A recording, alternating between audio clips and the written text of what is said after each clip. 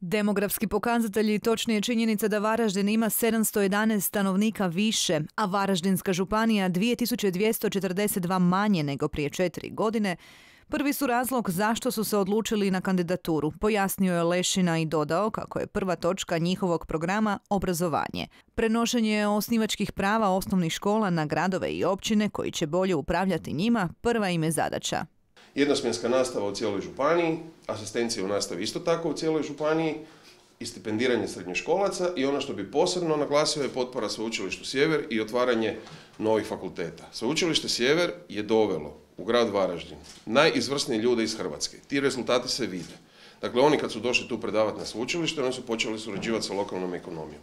I lokalna ekonomija je počela ići naprijed puno brže, ali strukturno puno čvršće i puno bolje. Četiri bolnice u Županiji vape za stručnim kadrovima, dodao je kandidat za župana i istaknuo da im treba unaprijediti uvjete rada. Vizija njihove zelene županije bazira se na uređenju vodotoka rijeke Bednje i iskorištavanju njegovog potencijala. Voda, kanalizacija, asfalt i širokopojasni internet u svim dijelovima županije. Brza cesta, Varaždin Ivanec i Varaždin Ludbreg dio su njihove infrastrukturne politike, kao i izgradnja postanova u manjim gradovima. Gospodarstvo je, kažu, rak rana županije. Grad je dao deset puta više iz poduzetničkog fonda nego što je Županija dala. Županija nije apsolutno ništa napravila za gospodarstvo. Poslovne zone. Županija nije utemeljena niti jednu jedinu poslovnu zonu. A imamo gradove kao što je Marov, koji je nekad bio veliko industrijsko središte, gdje ljudi vape za poslovnom zonom, gdje bi mogli otvarati mikro i mala poduzeća.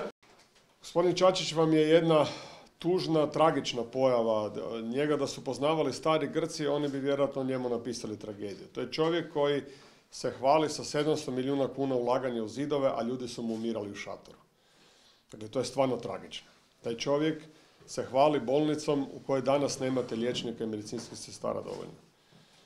Taj čovjek se hvali gospodarstvom, propaje sa svojim tvrtkama, a u gospodarstvo nije uložio ništa. Oni nemaju jedan jedini gospodarski projekt. Gospođe i gospodo, njihovi europski projekti su isključivo malerski. To je stvaranje e, ovojnica i fasada. Od toga gospodarstvo ovoga kraja neće živjeti. Nositelj liste za županijsku skupštinu je Ivan Čehok koji se obrušio na aktualnog župana.